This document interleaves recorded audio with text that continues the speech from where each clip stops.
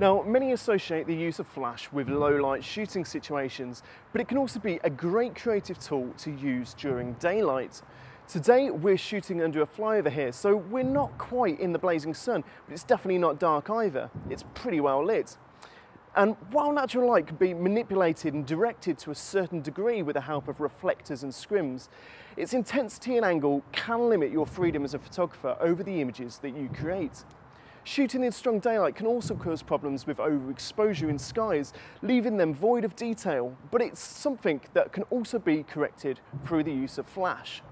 For these reasons, flash guns are something that many portrait photographers will take with them on location shoots.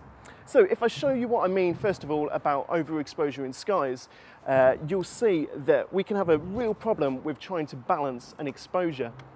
So if I expose this image for Liv here in the foreground, we'll see that she's quite nicely lit, but the skies behind have just turned completely white. They're void of all detail and they don't look particularly great. It's quite a flat image. That's something that we can combat by using flash. And how we do that is to just fit the flash gun first of all, switch to manual, and then I'm going to expose for the sky in the background. So I'm just going to change all my settings now to expose for the sky. And it's much, much brighter, so I'm dropping down the ISO and uh, just narrowing down my aperture a little bit. Okay, so we've exposed for the sky. Now normally, because when we were exposing for Liv before, she was well exposed and the sky was really bright.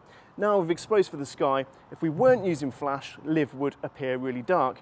But thanks to the flash, we can illuminate her and get a much more even exposure. Okay, so we can see in this image that both Liv in the foreground and the sky are properly exposed here that sky is no longer void of all that detail and there's a bit of colour in there which is much nicer to look at than just that flat white space. Now, the drawback to using flash on camera, however, is its fixed position directly above the lens. This can lead to harsh, flatly lit shots, and it can also cause unattractive shadows when shooting with a camera set to a portrait orientation. So if I show you what I mean by that, if I take a shot of Liv here, the light that the flash is casting is creating quite a strong shadow uh, just to the side of her head. Now, one of the things we can do to create more even lighting in our images, so they haven't got the highlights like that first one we took, and they haven't got the harsh shadows quite as much, is if your flash gun has an adjustable head, we can try and use a nearby surface to bounce it off and just diffuse that light a little bit so it's not quite as harsh. So if I take another shot now, and I'm just going to bounce the light off this wall, we'll see that we get some much more natural looking lighting uh, and it's, it's not quite as contrasty, it's not quite as harsh. The downside to this though is that you're still going to struggle if you haven't got a nearby surface. If you're in a larger room or, or really out on location, you know, in a field or something, there's not going to be an awful lot of things for you to bounce your light off. And that's where flash triggers come in. Now, basic flash triggers can be bought for just £30 and they're available in most standard fits. What they allow you to do is to remotely trigger your flash from wherever you may be within reason. So if I press the test button now, you'll see that the flash is going off without me actually being anywhere near it. If I was to take a shot from here with on-camera flash, not only would we have limited control over where the flash gun was positioned, but the flashlight might not even reach the subject.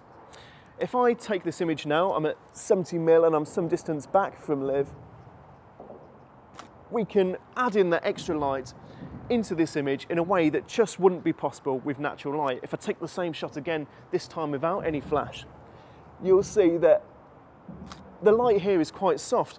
And even if I was using a reflector to throw and cast a little bit more light back onto Liv's face, it wouldn't have that same contrasty look.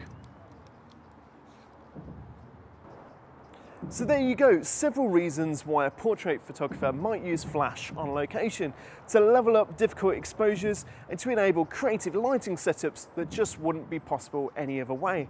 And if you've got several flash guns, you can invest in several triggers and come up with more and more complex setups that really bring studio lighting out onto location. I'll see you next time.